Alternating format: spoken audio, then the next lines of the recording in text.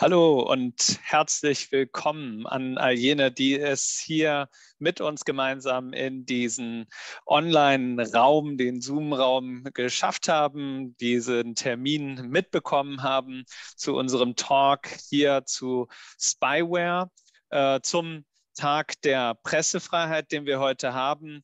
Äh, der Titel ist ausgespäht, wie der Einsatz von Spyware gegen JournalistInnen unsere Demokratie gefährdet ein Thema, das sicherlich nicht ganz oben auf der Aufmerksamkeitstabelle gerade steht bei all den Krisen und auch natürlich aktuellen Debatten, die wir an allen Stellen innenpolitisch, europapolitisch, international haben, ist dieser Skandal, der, die Tatsache, dass also Spyware gegen JournalistInnen auch in Demokratien eingesetzt wird, ein bisschen oder ziemlich deutlich in den Hintergrund gerückt. Und trotzdem äh, ist es eben auch unsere Aufgabe hier als Heinrich-Böll-Stiftung, gerade diese Themen, die eben auch abseits der Anlassaufmerksamkeit von grundlegender Bedeutung sind, äh, zu thematisieren. Und was ist dafür besser geeignet, eben diesen Tag der Pressefreiheit, den Internationalen Tag der Pressefreiheit auch zu nutzen, um darüber zu sprechen, wie es um ein solches Thema steht. Das Thema ist hochbrisant. Es ist vielen auch sicherlich immer wieder zur Kenntnis gekommen. Es hat einen Einsatz von Spyware an verschiedenen Stellen gegenüber JournalistInnen gegeben. Und es gibt dazu äh, eine ganze Reihe von Personen, die dem nachgehen aus unterschiedlichen äh, Perspektiven und mit unterschiedlichen Rollen. Wir wollen heute hier mit drei Gästen über das Thema reden. Und ähm, diese möchte ich eingangs einmal vorstellen.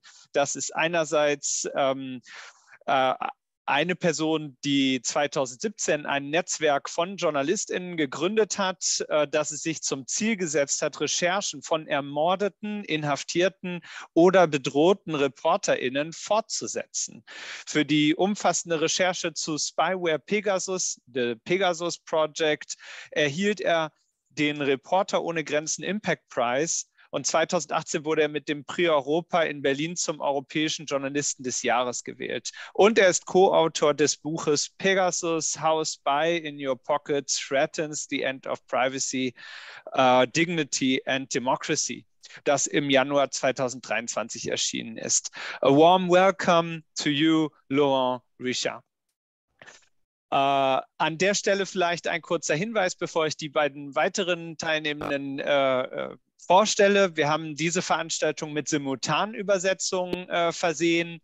Ähm, das heißt, äh, jeder, der hier auf Englisch zuhören will, kann oder auf Deutsch, je nachdem, wir werden später viel Englisch sprechen, kann mit dem Weltball unten bei Dolmetschen ähm, einstellen, auf welchem Kanal, äh, Kanal sie oder er zuhören möchte. Das äh, sollte also auf jeden Fall dann auch getan werden, damit man der Veranstaltung folgen kann. Und ich sage es auch gleich auf Englisch. So, warm welcome to you, Laurent. And I just uh, tell everybody that this event is uh, interpreted uh, into German and into English and you can choose the respective language with this uh, net ball, which you will find uh, in your menu of the Zoom. And you should do that to follow our talk, uh, because in the beginning, I'm talking a little bit uh, German. Later on, we will have to talk in English.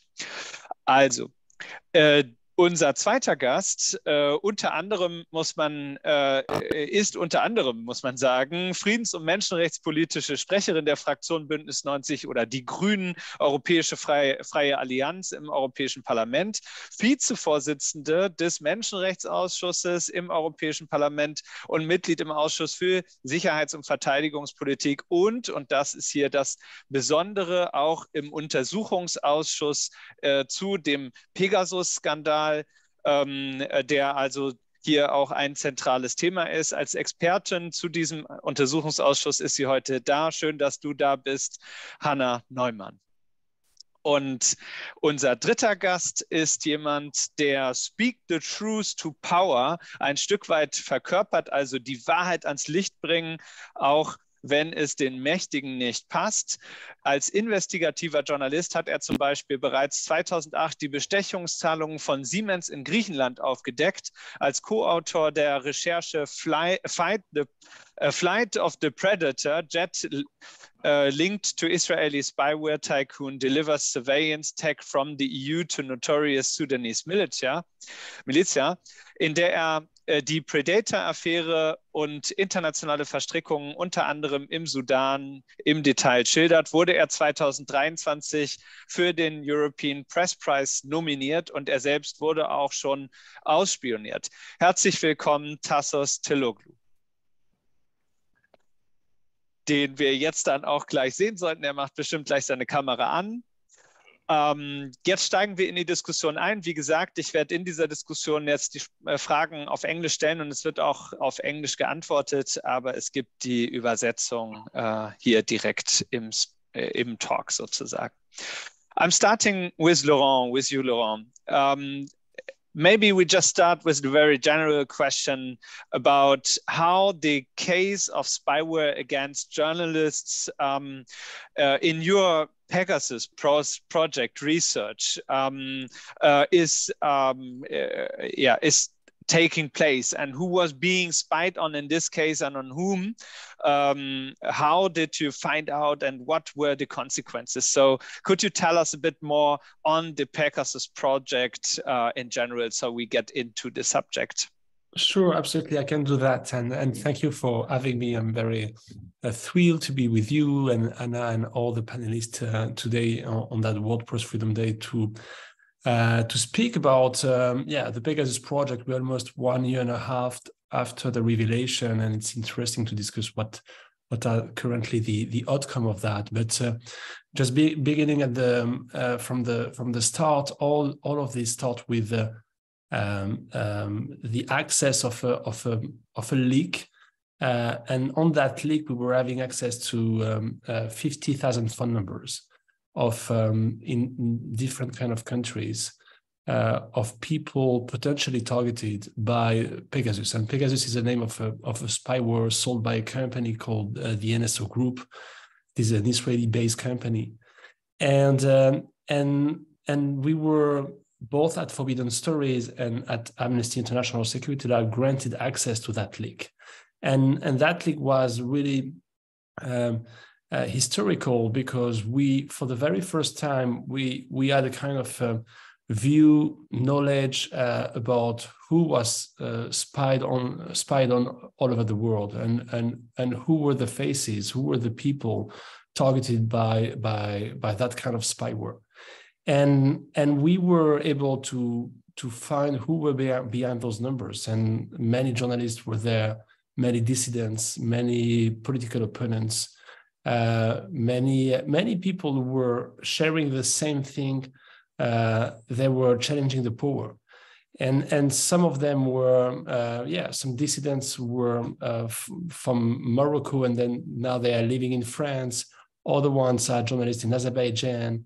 Uh, other ones are journalists based in France and were targeted by, by different kind of countries. Um, Mexico was one of the um, large customer of the NSO group as well. So many people were targeted in the country. So, so this is how we discover, to answer your question, many, not only journalists, but many other people who were not terrorists, who were not criminals, who were not supposed to be on that list, who were not supposed to be targeted.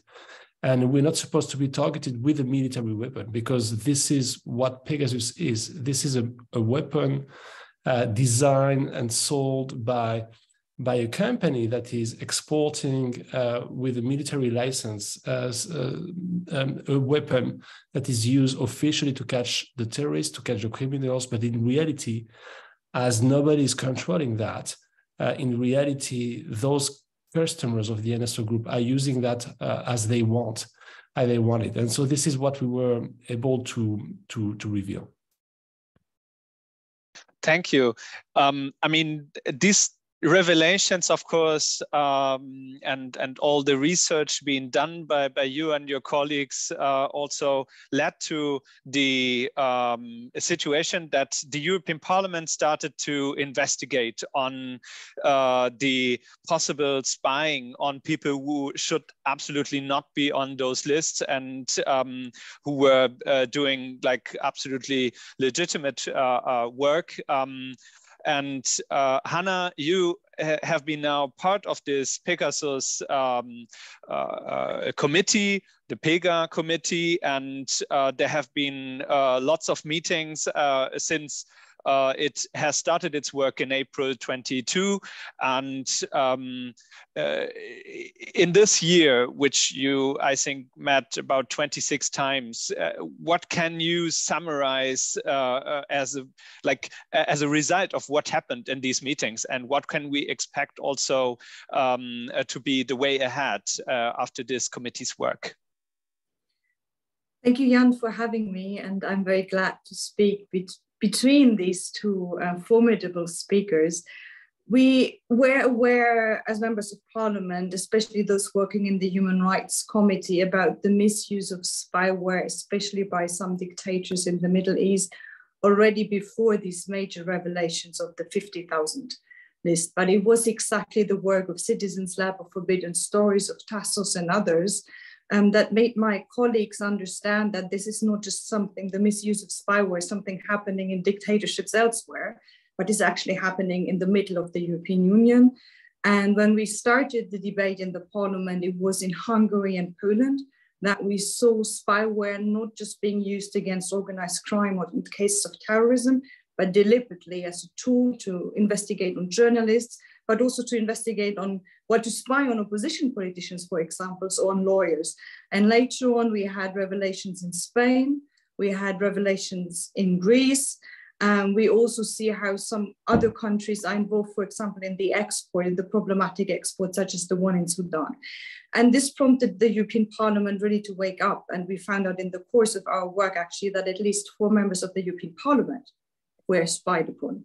Um, so it clearly infringes all level of democracy. And we've done all these hearings, as you said, Jan, and we have also done missions um, to a number of countries, those that I just named, but also Israel, for example, um, trying to investigate and to get more information. And maybe the first finding is all European Union member states blocked. So the report on which we will vote, by the way, on Monday, um, so we are quite timely with our discussion today, um, is based on the work of Citizens Lab, of Amnesty Tech, of Forbidden Stories and others. It is not based on inf information that we receive from the member states because they are blocking and the commission to say the list is not very helpful. But the information is good enough to clearly establish that we have a huge problem inside the European Union with the misuse of spyware. And it's really systemic. We have a problem that the legal processes are not working. We have a problem that victims don't get information, don't get redress. Um, we have a problem that information are not shared with us at the European level, so there's no control structure.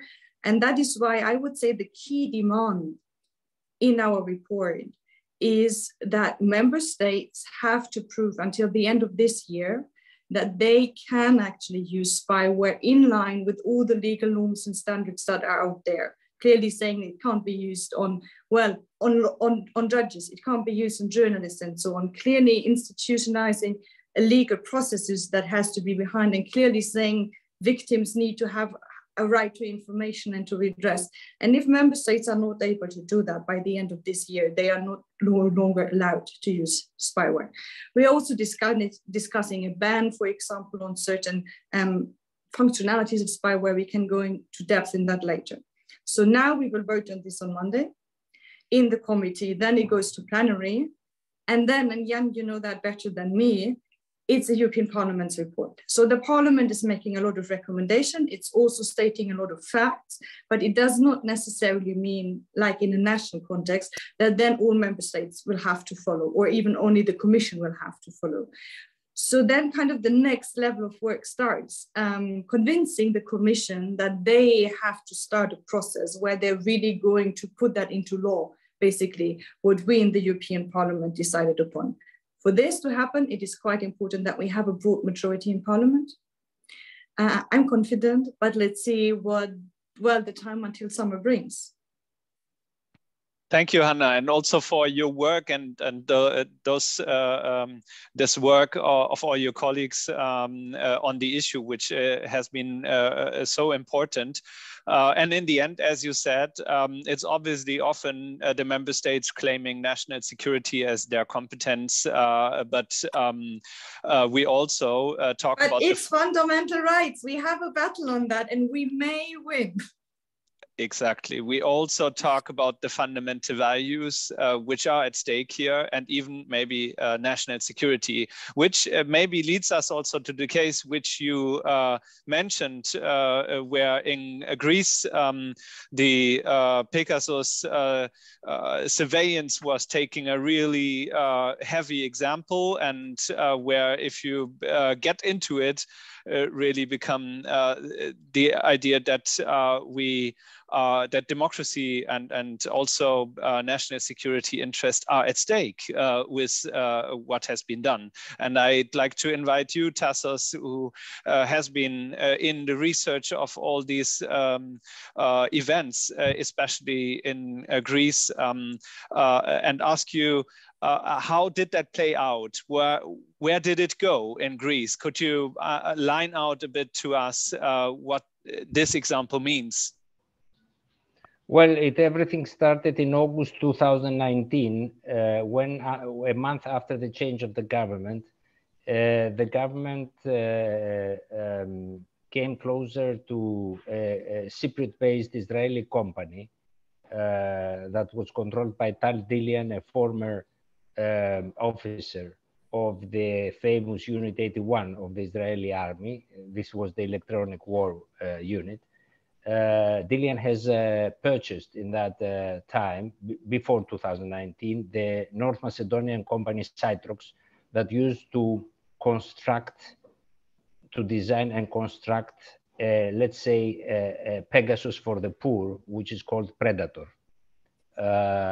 The difference between Predator and Pegasus is that in Pegasus is a zero-click software, but so you don't need to click on a link. But Predator is a, a, a, software where you need to click on a link. So they go to a company that sells massive SMSs and they send uh, 50, 100 SMSs with uh, very nice constructed, it's make all by, by social engineering, constructed uh, uh, items in the link that may interest you and bingo, your phone is away. So uh, they take everything. They take your archives, they take your photos, they take your messages, even if they are encrypted. They transform the microphone into something that uh, listens to everything you are saying, and uh, your camera in something that's absorbing all the images around your life. So more or less, that's that's the function of, of Predator. Predator is much cheaper than Pegasus. When NSO proposed to the Greek government to get uh, Pegasus. It was 50 million euros for five years. The Israelis proposed then to give a credit to the Greek government to buy that. Uh, it's everything included, troubleshooting, maintaining, education, etc. While uh, you can buy Predator with 7 million, uh, you have a limitation uh, in targets. You can target maybe uh, 10 people for 160,000 euros a month you can roll all these these these persons all the time. So if uh, Hannah goes on vacation, they can take their link and target me at this time. And when she comes back from vacation, then they take they can take the link again if I don't say anything interesting and target Hannah again. So they work like that. And and uh, the, uh, when this happened, it happened, let's say, outsourced from the Greek Secret Service. It happened with companies working for the Greek Secret Service, whereas uh, close associates to the then head of the prime minister administrator, uh, chief administrator, have bought 35% of Intellexa, which was the company uh, that was trading with the software. Intellexa belongs to Tal Dilian. Tal Dilian controls Intellexa, but he controlled only 65% of the company and 35% was controlled by those associates of the uh, uh, head of the prime minister's administration. So it was a public-private partnership in Greece, which is unique. Uh, um, and uh, this gave the flexibility to the government to uh, uh, strengthen the deniability arguments after they were discovered. It was not us, it was private people. But uh, these private people, the problem with those private people is that, uh, with these subcontractors, is that they keep their mouth, mouth shut as long as they are not targeted in public. When, they be, when we started targeting them in public, then they started talking. And uh, one of, of the problems of that Intellexa has is that Intellexa doesn't produce anything by itself. It has a lot, dozens of subcontractors. So these subcontractors were talking all the time because they didn't want to get messed up uh, in this situation. And that's how the Greek spyware uh, scandal erupted. It, uh, has uh, led to the resignation of the head of the prime minister's uh, administration uh, in August and the chief of the secret service by August the 4th when it was revealed that the head of the third biggest party in Greece, Mr. Nikos Androulakis, was uh, also targeted with Predator after my colleague Thanasis Koukakis, who is the first European uh, target with Predator. Uh, and uh, this was revealed by the Citizens Lab on March 28, 2022. So until now, we have seen more or less uh, dozens of phones infected by Predator. Uh, we have three cases which are um, uh, investigated by the Citizens Lab. We have also other cases by people who don't want to go public. And this is more or less the situation now. I, I would uh, like to add a few things. Greece became an export center for the predator, not only in Sudan, but also in other countries of the Middle East. And uh, we're going uh, in the next days to publish on time for the report in Brussels details on the full scale of the Greek exports of this kind of items uh, the previous years. Thank you, Tassos. Uh, I mean, uh, this is being revealed due to the hard work of journalists and um, press freedom uh, and the, the strength of also press in Greece has shown that uh, this is possible. On the other side, uh, let me ask you, how do you put this together with the bigger picture uh, of press freedom in Greece? Then, how do you um, how do you uh, uh, assess the situation for the press in Greece inside of these developments? Well, as you may know, we had a 10 years uh, hard austerity programs that led also to a weakening of the traditional press outlets. Uh, the press became more um, dependent on big banks and via the banks uh, to the government. The, the government used to possess a lot of those banks in the um, uh, wave of uh, the austerity programs. So we have media that are weaker because of the austerity programs and because of a, that a, very big chunk of revenues uh, goes directly to, to Alphabet and to, to Meta. That means we have 70 to 80% of the revenues of 2010 going, going to Alphabet and, and Meta, plus the fact that there is there are indebted the, the media, so they are they are much more weak uh, vis-a-vis government's pressures, pressure. Uh, and we have a lot of small, smaller uh, media outlets that have been founded in the last, let's say, five, six years, which are more or less digital outlets, like the one I work for, Inside Story, which have uh, an independency uh, to to where are independent and have the, the, the capability of addressing that issues. But we're still small. We cannot define uh, the public uh, debate. Uh, and I can tell you that if the government didn't ha hasn't made a mistake to target Mr. Androulakis, we have we would never been able uh, to address a national public like we did after August. Thank you.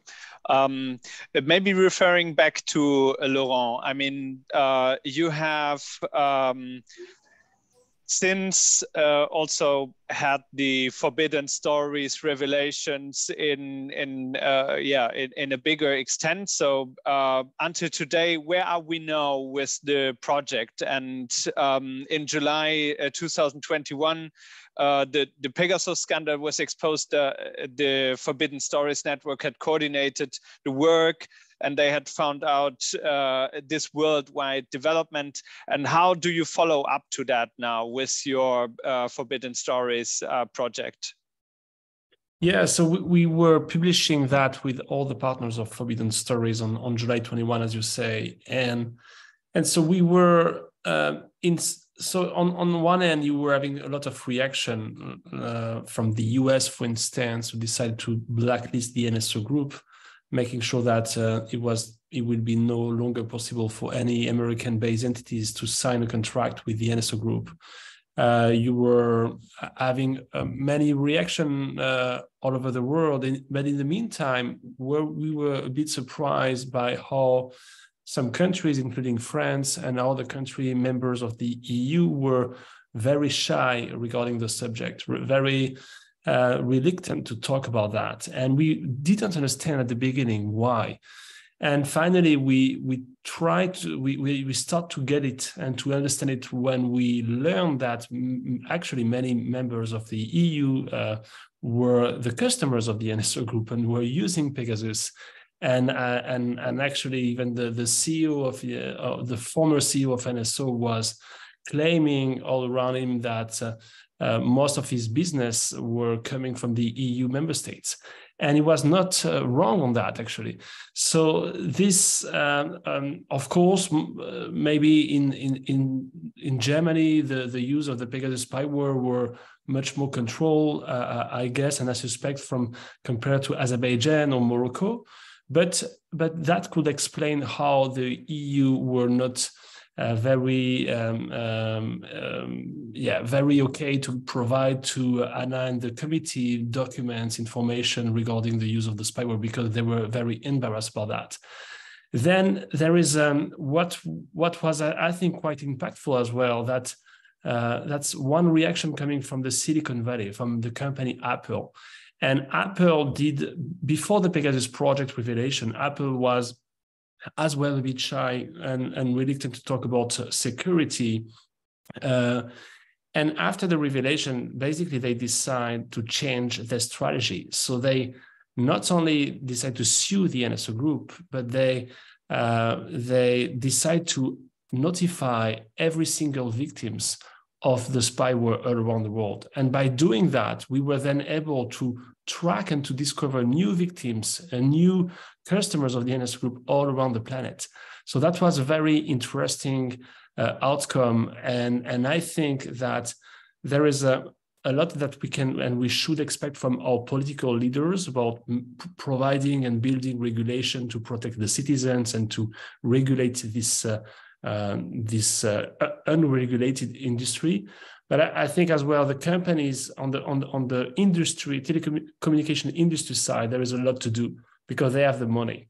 They have so they have the power. So they have the power to make sure that their customers that who are using iPhone or other device will be uh, will be able to communicate in a very uh, very safe channels.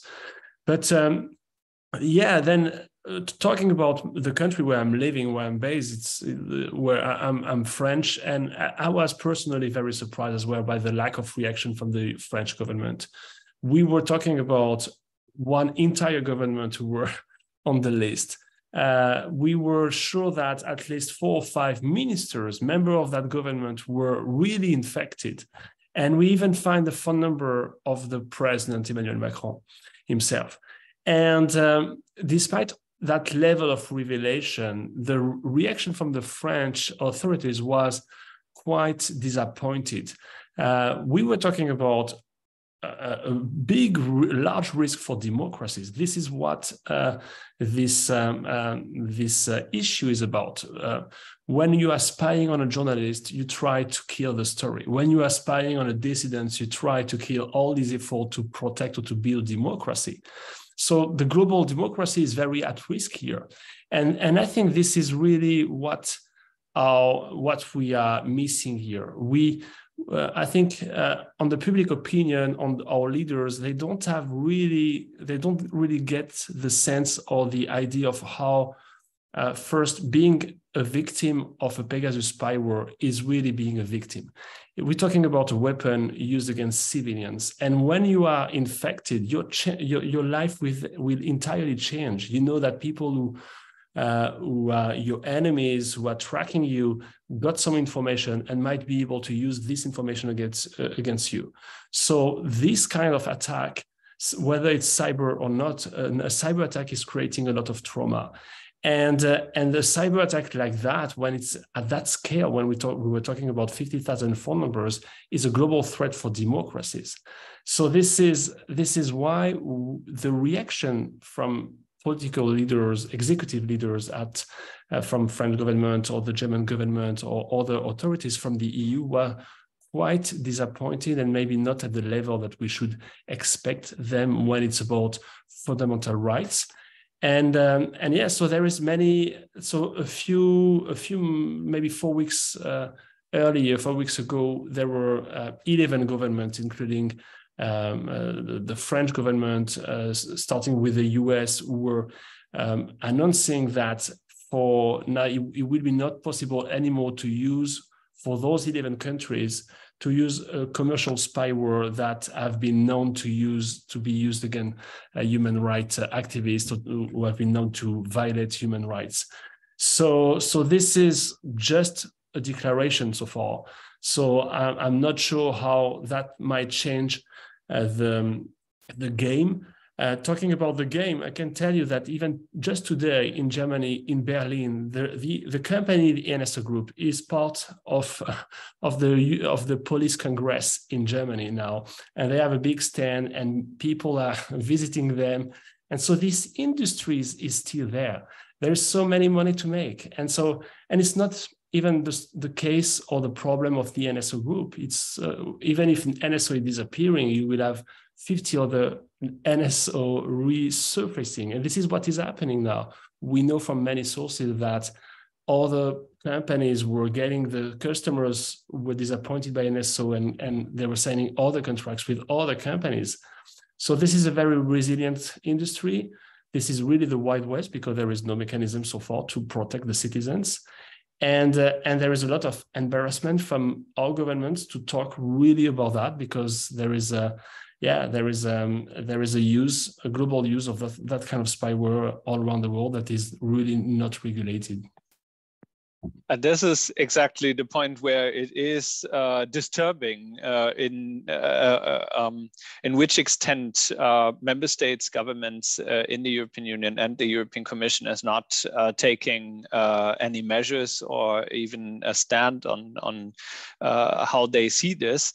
And this, Hannah, you mentioned also in, in your speech in the European Parliament is kind of a cartel of silence, you, you said. So you mentioned it before.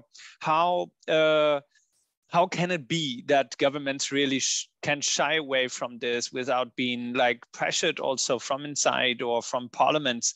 Is there um, just too less awareness also uh, by national parliamentarians? Or how do you exchange also with your counterparts on a national level? There is indeed this cartel of silence that we are facing but it's not just us who are facing it i mean it's the journalists who try to investigate who are facing it and it's our colleagues in national parliaments where frankly said i find it even more striking um, because the uh, carte blanche of national security shouldn't work there. Um, or if it also works there, then there is really no trust that there could be any kind of control layer.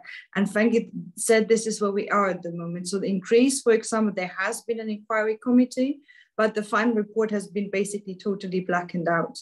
In Spain, on national level, they stopped the inquiry committees, or the Catalans have one. In, in their regional assembly, they have one.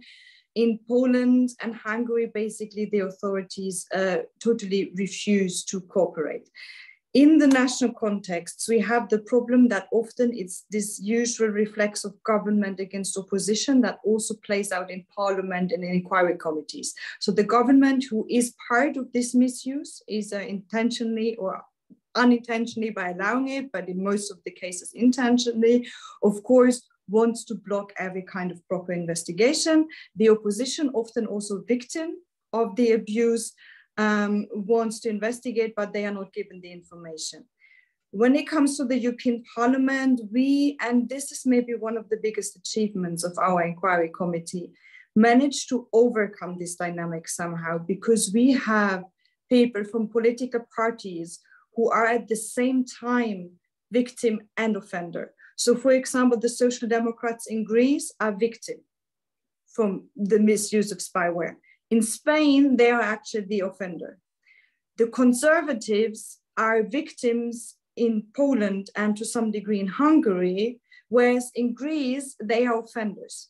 And this was a very challenging and tough discussion that we also had in negotiations because I'm the shadow for the Greens, so I sit in all these negotiations where basically at one point we had to tell all these political parties, you cannot say that it, what Citizens Lab and journalists have uncovered in one country is a fact, and in the other countries, it's pure lies and speculation.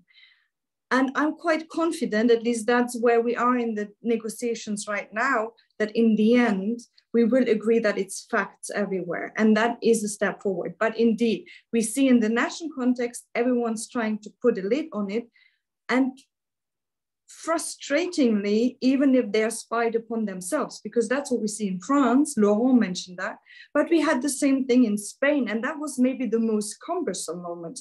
When we were in the parliament just looking into Catalan Gate, where the Spanish government was misusing spyware on Catalan independence, politicians, activists, journalists, and at the same time had to find out that they are being spied upon, most likely by the Moroccan, which clearly shows if there is the vulnerabilities out there, no one is safe.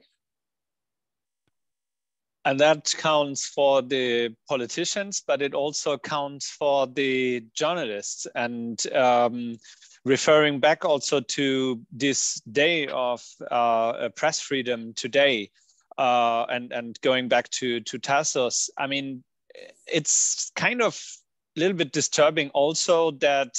Um, there is not such of a large scale media outcry uh, in like uh, mainstream so mainstream is not maybe the, the, the best word but like in the most important media channels uh, across uh, europe how, how do you think this um, is happening because uh, having heard from what what Hannah just said, this counts for journalists in the same way. If uh, if one is unsafe in this regard, it could meet uh, uh, and hit everybody, isn't it? Oh, unfortunately, we're not able to hear you right now. I don't know if you have to unmute you technically. No, it's muted.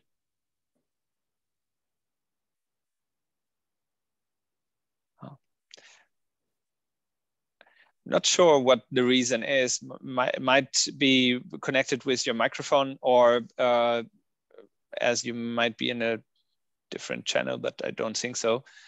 Um, so maybe Tassos, you're, you're just trying to check the reason that we can't hear you right now. And I'm, I'm inviting Laurent to maybe also uh, a comment on, on this question. Yeah, sorry. Can you say again your question? Uh, yeah, sorry. It, it, was like referring to the question uh, that uh, what happens to to politicians on the one side that uh, if one can be spied on, of course the others can't be secure anymore. This counts for journalists in the same yeah. way, and I'm uh, I'm just also a little bit surprised that uh, the awareness in in media outlets is not so high either. Yeah, yeah. Um, it's it's it's true that we when we were doing the Pegasus when we were coordinating the Pegasus project, we learned a lot about how to coordinate this large investigative uh, project uh, with um, um, with a lot of companies and uh, with a, with a lot of states and a company in front of us who were using spyware to to spy on journalists. So we didn't want to be the next one on the list. So we have to, we had to learn about how to do that, how to communicate safely, what kind of platform we can use, what kind of application. We were very advised with um, by Amnesty International Security Lab on that, and it's true as you say that the most of the journalists, investigative journalists, were using Signal, for instance. It's an encrypted application um, as as WhatsApp actually, except that WhatsApp is owned by Facebook and, and Signal is um, is um, is an open source uh, technology. Um, but the thing is, even if you are using uh, an encrypted um, application, once you once you are infected, you are really trapped. So the, the the spyware is inside your device, so can read what you are reading, whether it's encrypted or not. Um, so, so the level of knowledge on the journalistic side, on the political side, is really we um, we I think we have to consider that nothing is really safe. That's the first uh, lesson to to to to to to get from that. That uh, if someone is telling you that this application is entirely safe, you should not trust that person because one day you will learn that this application have been hacked by someone. The thing is is how is is we are in front we have in front of us an industry with people who are able to sell what we call a zero day a zero day is a vulnerability that you just discover you are the first to discover and you are discovering a vulnerability to get into uh, mm-hmm. uh, your iphone through tiktok or through whatsapp or through uh, imessage or uh, one kind of application and if you are able to find to discover that vulnerability uh, you can resell or sell that to a broker or to a company like NSO. You can sell that for 1 million. So you can change your life entirely if you are able to find one one kind of uh, vulnerability like that because in front of you people are ready to pay for that dictators are ready to pay millions to just to target one citizen. So so this is why we need regulation for that kind of market. Otherwise as edward snowden say on the very same day of the revelation today we're just talking about 50,000 phone numbers but we, if we are doing nothing to control that we will be having 50 million of phone numbers in two years from now. So yes the knowledge of journalists on uh, on the polit- political ecosystem on many in many parts of our civil society is is is not very high but in the meantime what to do the the uh, we we just have to to I think it's it's it would be much more efficient to to build regulation and laws to protect citizens than to train billions of people on the planet about how to use this uh, this application to stay under the radar. Mm. Thank you. So referring back to Tassos, how, how do you look at, at this issue of also the awareness in, in broader media um, uh, on the issue? Oh, unfortunately, it's still not working. I don't know what, what the what the issue is. I guess it's somehow linked to your microphone. Maybe um,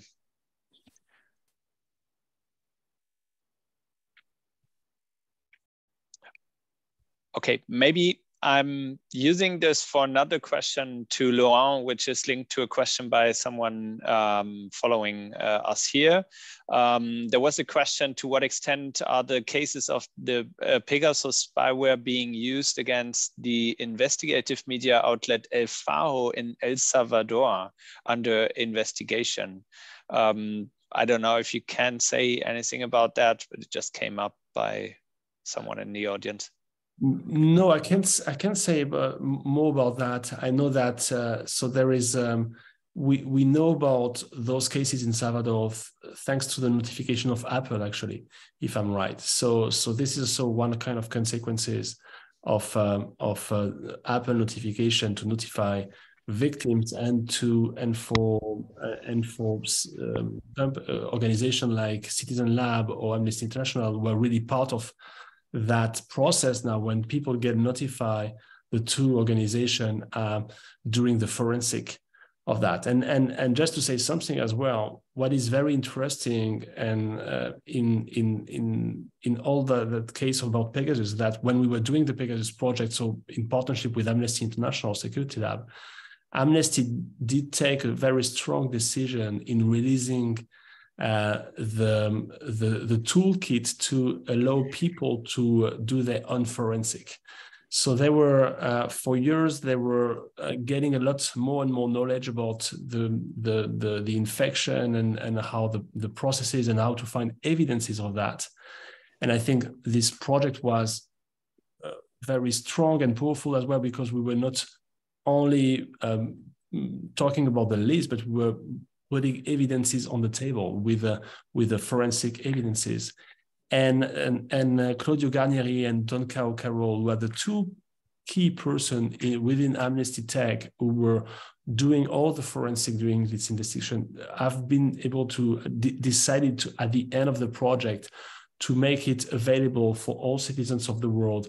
If you want to know if you are infected by Pegasus, you can uh, try, uh, you can download this code and, and do your own forensic uh, analysis on your phone. And by doing that, they were uh, aware, of course, that NSO will be immediately change their own strategy to infect uh, in the future uh, other victims. But in the meantime, by doing that, we were able to discover many other uh, victims all around the world. So that was really a key decision.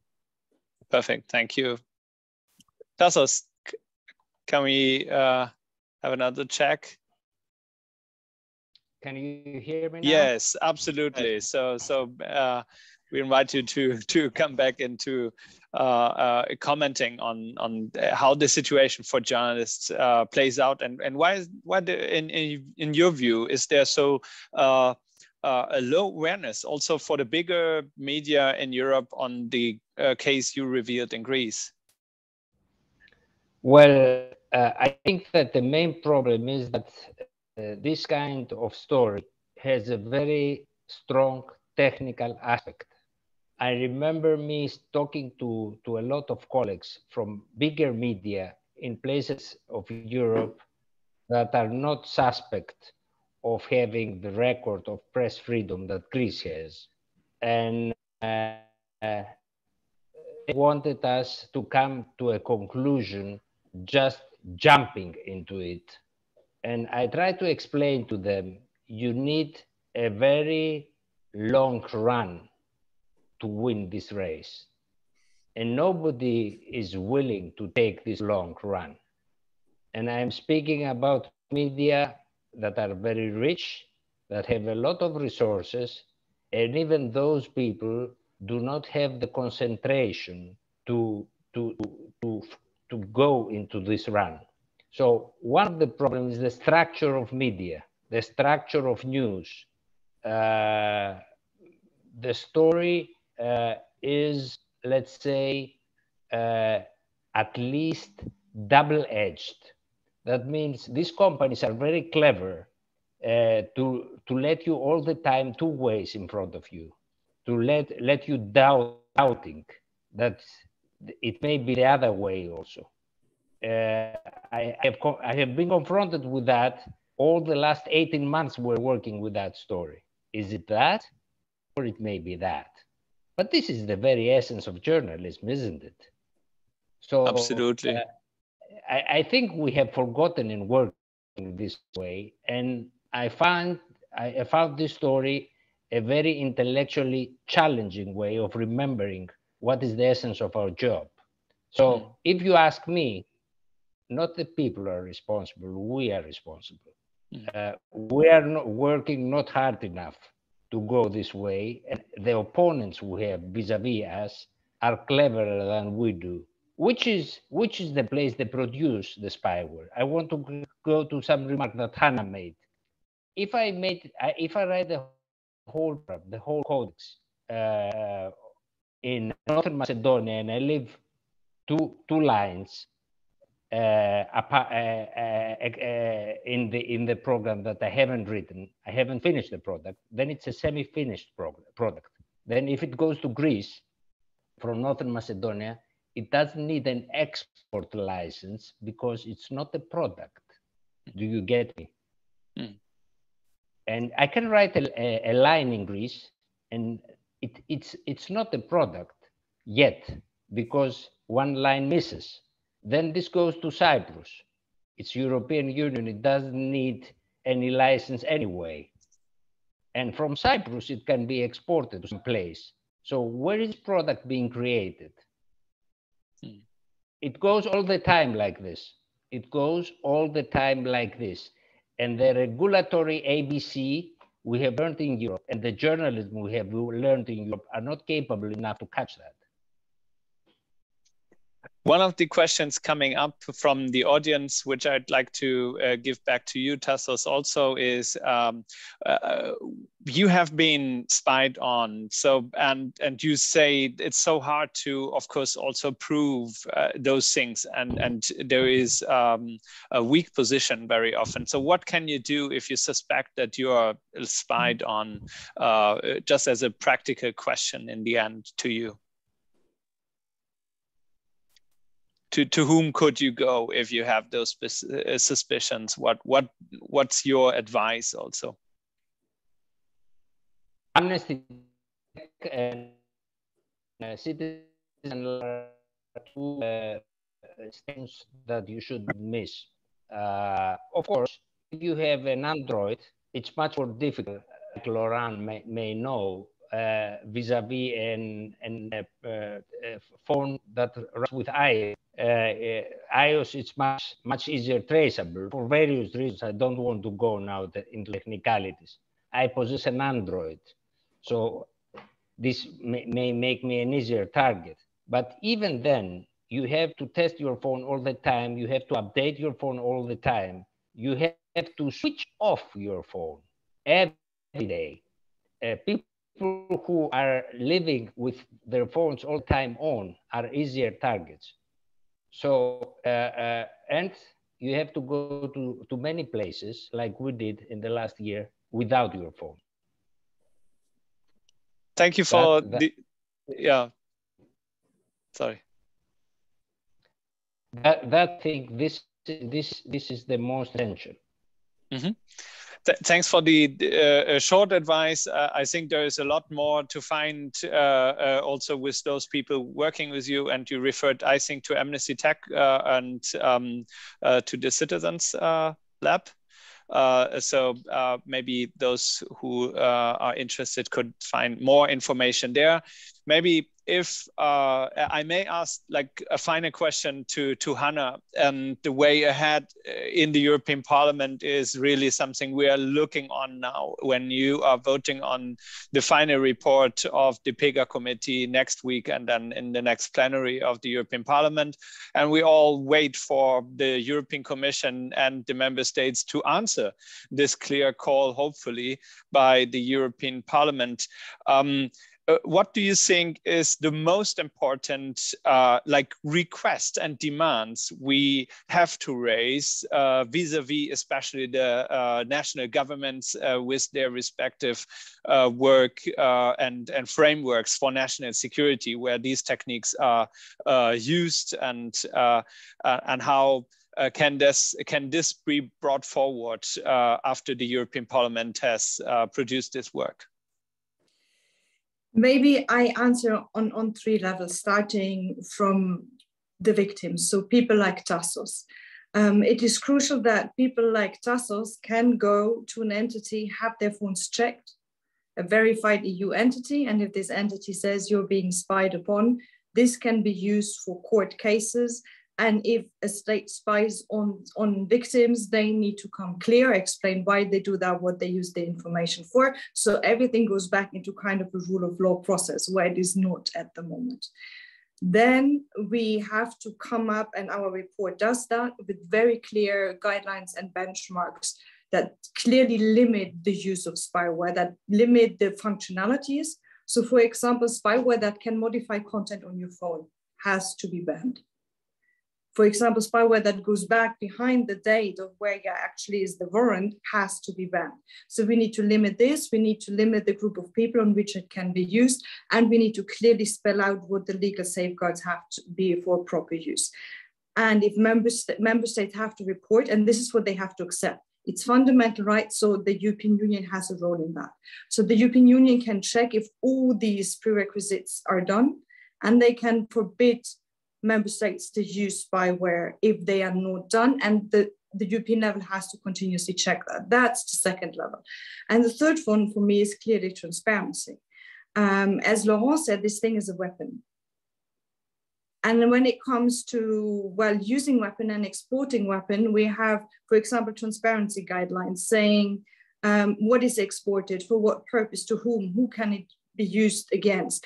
And we need that for spyware. We have something in Germany, it's happening internally, that county, because it's the county level in Germany that decides on the use of spyware, they have to report to the national level how often do they use spyware against what kind of victims, for what purposes, for how long. And we kind of need the same kind of reporting on the European level. So also we can see if one member state basically goes rogue. And before you cut me over, let me allow me to do a little promotion because we did something in the course of this project. Um, you can find it under spywarefiles.eu, where we tracked all the revelations around the misuse of spyware, either when there's confirmed misuse and victims or confirmed abuse of export licenses to clearly show how systemic the abuse is globally. So it builds on the work of people like Laurent and Tassos, but it basically includes all the revelations. So if you want to get a full picture and then more details on individual cases, you can go there. Lots of journalists in there. You can also just um, Google, well, basically search for journalists.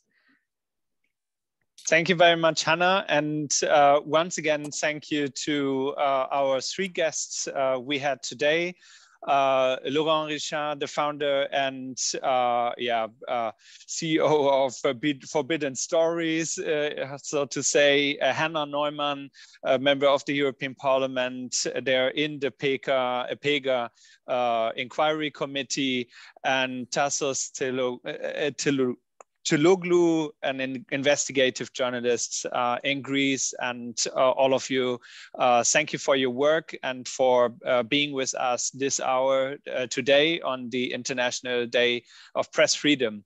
Uh, and thank you for all who followed this uh, event today, for listening. Vielen Dank fürs Dabeisein, fürs Zuhören und Ihnen einen, einen guten Tag der Pressefreiheit. Und äh, wir alle schauen auf den weiteren Prozess, wie diese Ereignisse aufgearbeitet werden und vor allen Dingen, welche Konsequenzen daraus für die Zukunft gezogen werden. Hoffentlich demnächst dann auch von der EU-Kommission und den Mitgliedstaaten im Lichte des Beschlusses äh, des Abschlussberichts des Untersuchungsausschusses Ausschusses im Europäischen Parlament.